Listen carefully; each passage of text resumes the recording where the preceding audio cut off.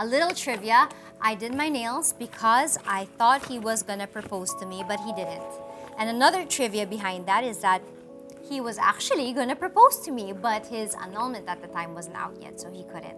Uh, but he had the ring already, so the feeling was mutual. I was right. So let's talk about love and the beautiful little moments in between.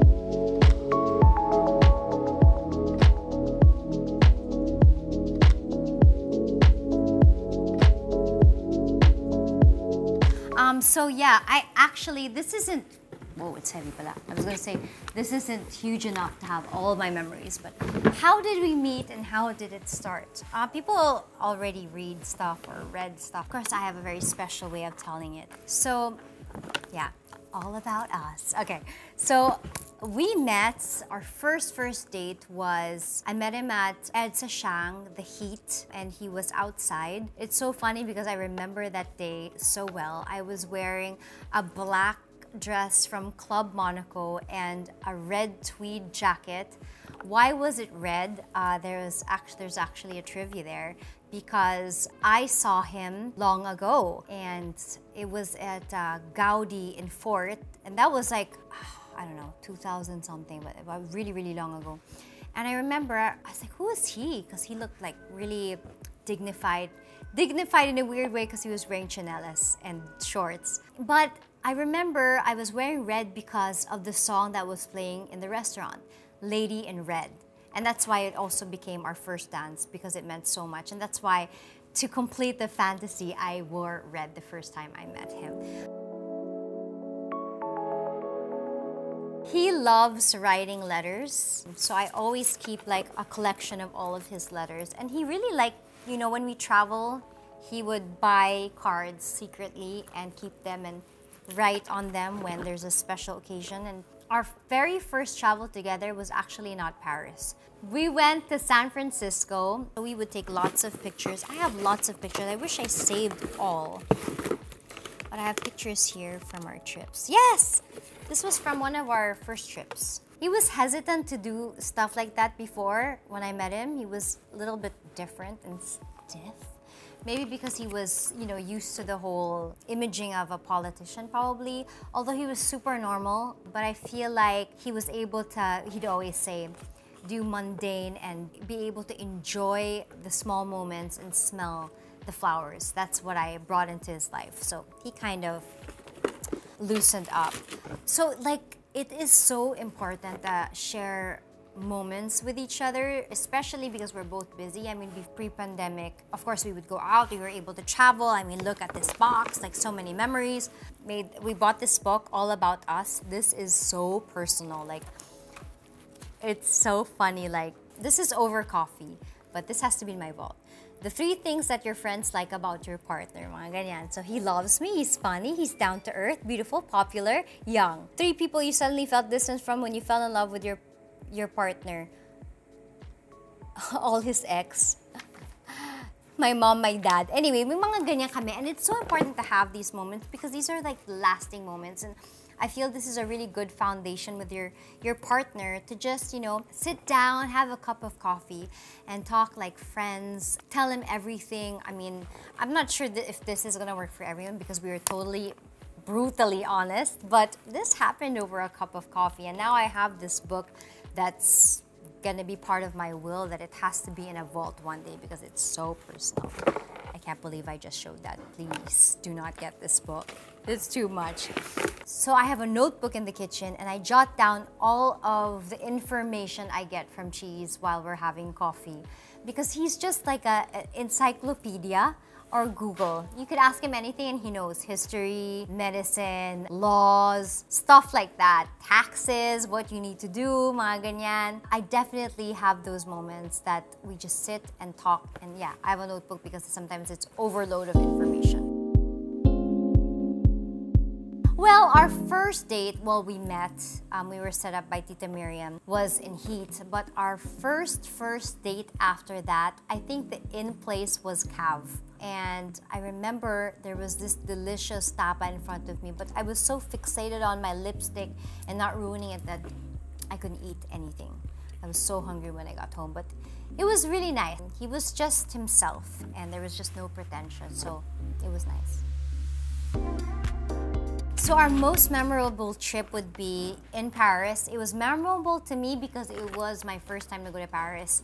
I wasn't allowed by my parents to go to Paris first and foremost because they thought that I wasn't mature enough and ready and it was, you know, being very independent. So I wasn't allowed. And when I was allowed, I wanted to save that trip and really make sure that if I go to Paris, it'll be with someone that I would end up with. So yeah, this was in Notre Dame. He took my picture. This was my first picture with the Eiffel Tower. This was at Versailles and this was the Louvre.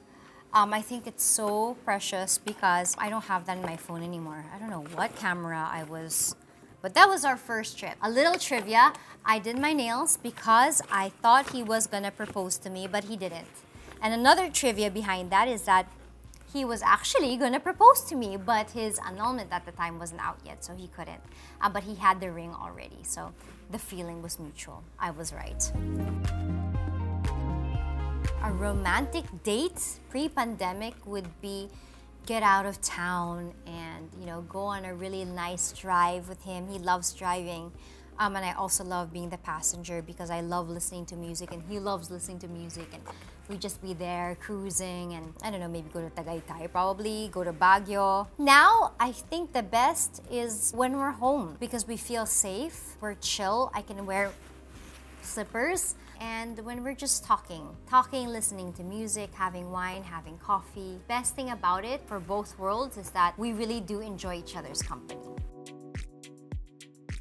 So I said this before, I'm not really a good cook. Actually, I'm actually a good cook. I am just, it's not my thing. But he is such a good cook and he loves to cook. Even if it's just corned beef, he'll make it gourmet. But he does the best paella he also does the best adobo flakes on top of rice. But my favorite of all is, it's kind of silly, but he loves to fry, like deep fry the fat around the steak.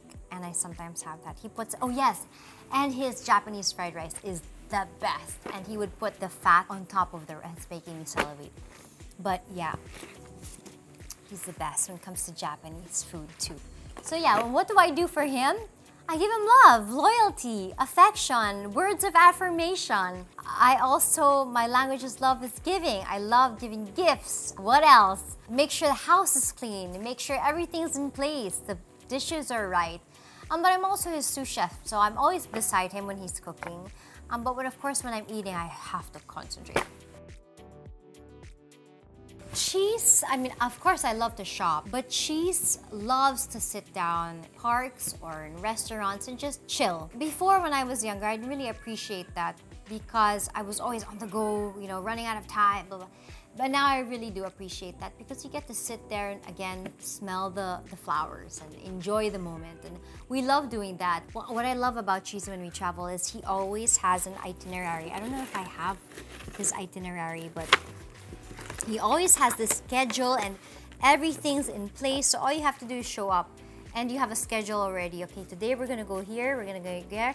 We never do like tour guides. We like to discover stuff on our own, you know, get lost kind of. And I, I don't, I'm not afraid when it's Chiz, when I'm beside my husband.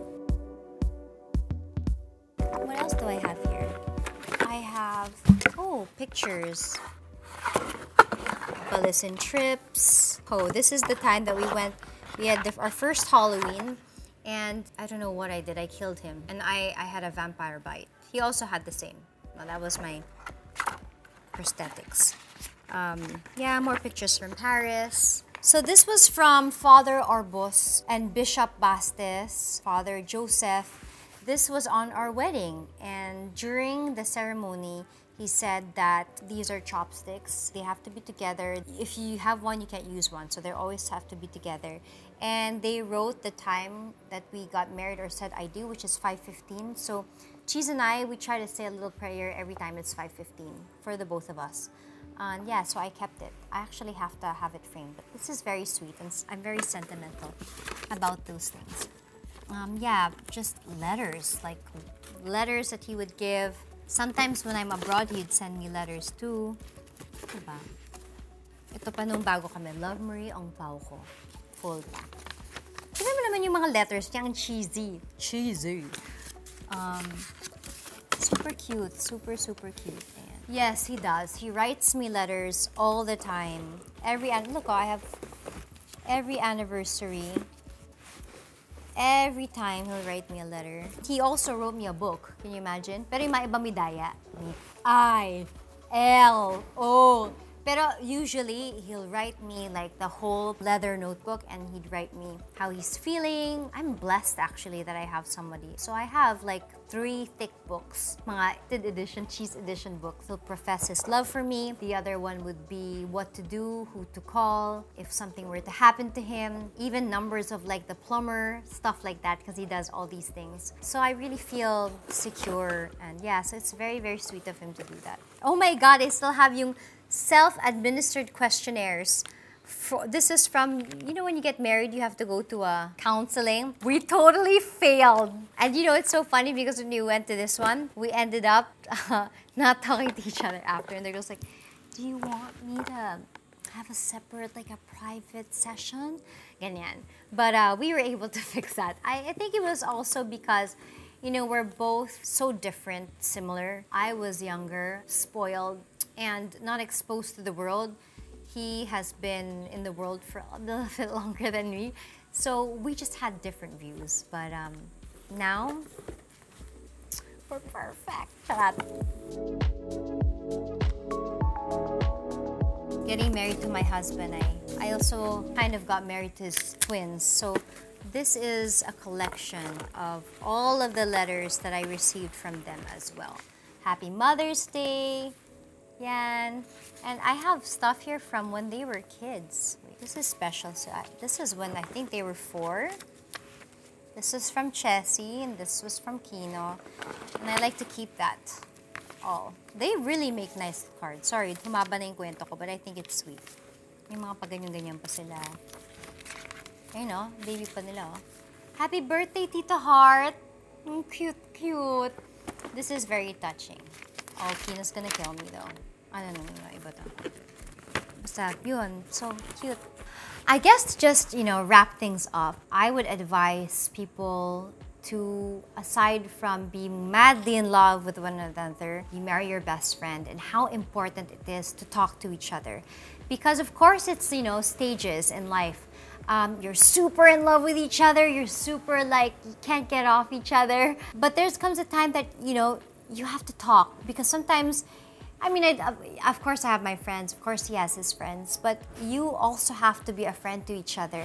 And by developing your trust and your relationship and adjusting with the different chapters and phases of you know you being with your partner for a really long time you have to be really comfortable with the person and talk to each other. And it, it does wonders i feel like for married people especially. Not every day you're into like lovey-dovey. I mean i i, I feel that that way. But sometimes I just need to talk. I need to talk to someone about whatever. And he's there. I really do appreciate like quiet times and times where we can talk have a cup of coffee and just talk talk and talk and talk and it never gets old. It's always new and it's refreshing in a relationship. So this has been heart cheers